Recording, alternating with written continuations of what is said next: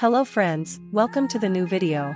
Pop star Britney Spears and her husband Sam Asghari have split after just one year of marriage, a source familiar with the situation said. They have split up and it's best for Britney, the source said in a text message. No additional details were immediately available. Don't forget to subscribe our channel for more videos. Representatives for Spears, 41, and the manager of Asghari, 29, did not immediately respond to requests for comment.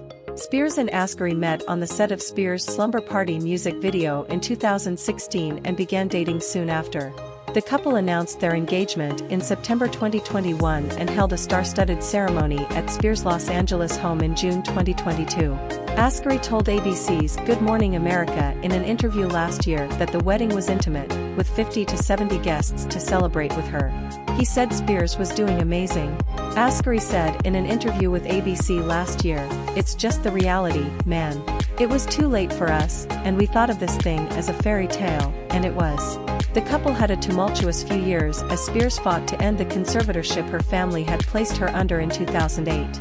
Spears had no legal authority over her medical decisions or contracts, including a legal marriage, until the conservatorship ends in 2021.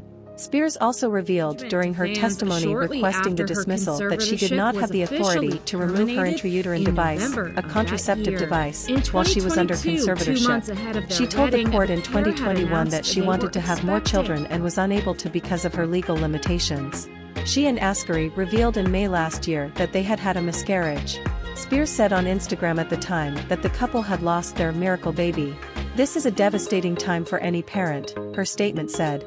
Perhaps we should have waited to announce until we had moved on, but we were too excited to share our good news. Spears recently posted photos on Instagram of herself and Asghari riding horses on the beach in July. Weeks earlier, she had posted photos and videos of them traveling together. Thanks for watching our videos.